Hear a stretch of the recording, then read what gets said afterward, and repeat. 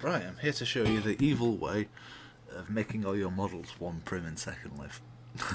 well, not all your models, it won't always work, but most of the time it does. Um, well, this is a, a candlestick we made earlier. It's got two materials on it, and we need to make a low level of detail version of it for Second Life. Now, there's all sorts of clever ways of doing this, but I'm going to show you the way to cheat for the people who don't care. right, tab into edit mode, two materials, I need to select one polygon from each of the materials.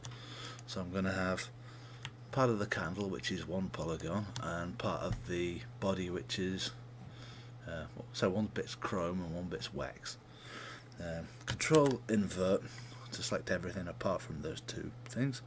Hit delete, delete all the faces stick it back into object mode and with those two polys selected export as a I'm calling it low lods DAE right and we need to go back into Second Life now and upload it.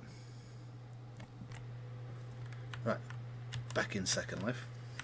We need to upload the thing if it's worked. Um, build upload model. Right, it was Candlestick 2 was the model, so I'm going to open that in the uploader. There it is previewing. If we calculate weights and fees now, it's coming in at yeah $42, land impact of 32. Now, the lowest level of detail, if we load from file and browse to low lods, import that and it looks stupid in the window calculate weights and fees now it's 11 and 6 prims. Now go to physics. Choose one from file. Browse. Low lods um, analyze simplify calculate weights and fees. It's now cost it's now land impacting 1.2 which will probably weigh in at one land impact. Let's let's upload it and check.